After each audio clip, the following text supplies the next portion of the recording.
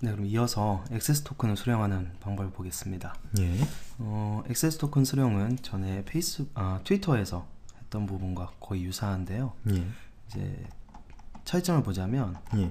어, 똑같이 이제 get access token 이란 걸로 받아오는 건 같고요. 예. 그 다음에 이제 verifier라고 해서 예. 저희가 아까 가져왔을 때 인증받을 수 있는 코드들이 나오잖아요. 예. 코드 이름이 전에 페이스북 같은 경우에는 이름이 오스 verifier라는 이름이었습니다. 예. 예, 근데 이번에는 요 창을 보시면 아시겠지만 코드라는 이름으로 음. 돼 있어요. 그 예. 차이가 있고요.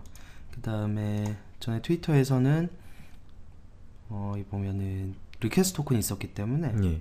뭐 object를 만들면서 예. 그 request token을 세션에 넣었다가 예. 가져왔었는데요. 예. 네, 이번에는 request 토큰이 없으니까 이 부분이 생략된다. 음. 라고만 알아두시면 됩니다. 실제로 코드를 보면요. 예. 제일 아래쪽에 코드가 있습니다만 네, 코드를 복사하겠습니다. 그래서 파일을 새로 만들어야겠죠. 예. 파일 이름 아까 저희가 페이스북 underscore access.php라고 했으니까 그대로 예.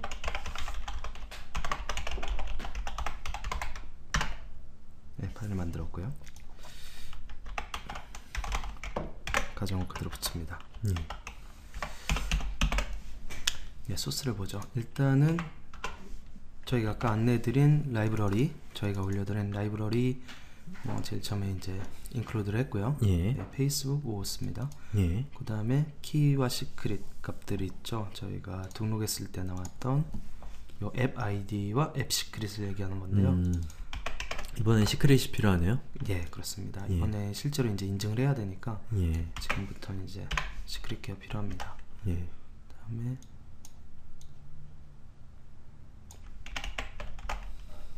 앱 secret 그대로 넣어주시고 예.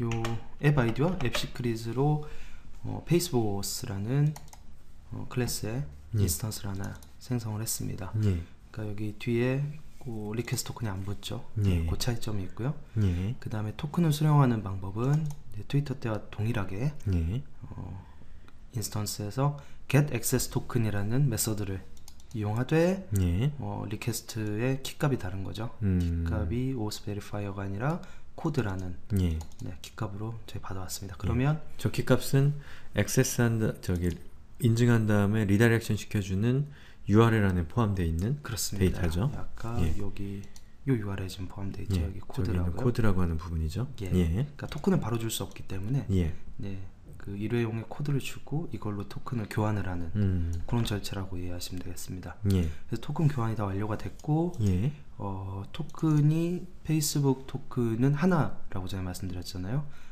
어, 그래서 오스 토큰이란 거 하나만 받아오시면 됩니다. 음. 어, 트위터와 다르죠. 트위터는 두 개를 받아왔죠. 토큰과 토큰 secret 예. 이두 개를 받아왔는데 페이스북은 하나 하나가 예, 예. 키 역할을 다 하기 때문에 예. 요 하나만 오스 토큰이란 것만 받아서 예. 토큰이라는 곳에 저장을 해주시면 음. 됩니다. 저게 secret 역할도 같이 하는 건가요? 그렇습니다. 그럼 저거는 보안상 잘 네. 보호가 되어야 되는 데이터군요. 네, 잘 보호되어야 되는 예. 데이터입니다. 예. 지금 저희는 여기서 이제 코드를 끝내는데요. 예. 실질적으로 사용하실 때는 예. 이 토큰을 session이나 예. DB에 아무래도 저장을 하셔서 예. 나중에 또 쓰시게 되겠죠. 이렇게 해서 페이스북 어, 인증 화면 한번 찍는 거 한번 볼까요? 아 그럴까요? 예. reload 하면 되려나요? 잠시만요. 받아온 토큰을 그럼 뿌려보겠습니다. 예. 음.